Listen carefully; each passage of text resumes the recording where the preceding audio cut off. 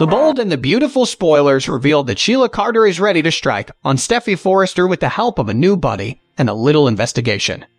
So, she's quite busy. Then, with the assistance of a new acquaintance, she sets about devising a scheme to get her daughter-in-law out of the path. Sheila was seen talking to a hotel staffer in a recent episode of B&B. While it made no sense in that context, other than the possibility that she was lonely, it may now make sense. And that was really it. Kavith vanished from the front desk, never to be seen again. But, according to the most recent bold and the beautiful rumors, he's back, and Sheila befriends him.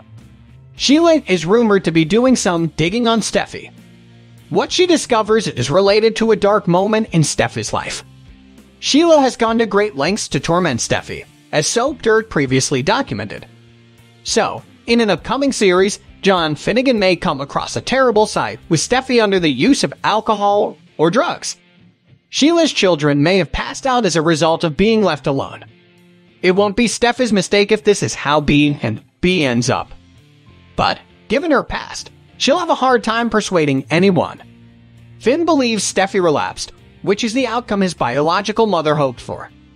This mad woman would do everything within the realm of deviousness.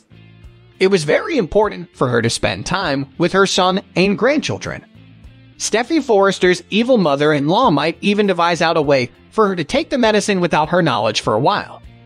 Maybe Steffy Forrester's daily tablet might be substituted for the pain relievers. Fans have already seen Sheila Carter sneak into the mansion a few times unobserved. So, why don't you go inside once more, but this time to swap some pills? Perhaps she'll grind them up and include them in the same pills that Steffy takes every morning. So maybe she'll fall in love with them all over again. Steffy may be required to attend a rehab program,